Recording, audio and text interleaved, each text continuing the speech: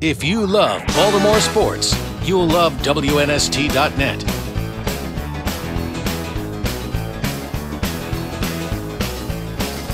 Rolling down Highway 95. Sailing through a. Welcome, the inaugural Bud Light WNST Wii Bowling League, the City Edition. Thank you guys all for coming. So how this is going to work Tuesday we're going to be doing this at a different location. At one point it's going to come to your home bar that you guys will be the host. It's a cumulative score over the nine week period, so the highest score combined nine weeks in wins the grand prize. And uh, so we're going to start off with uh, one representative from Jimmy's, one from the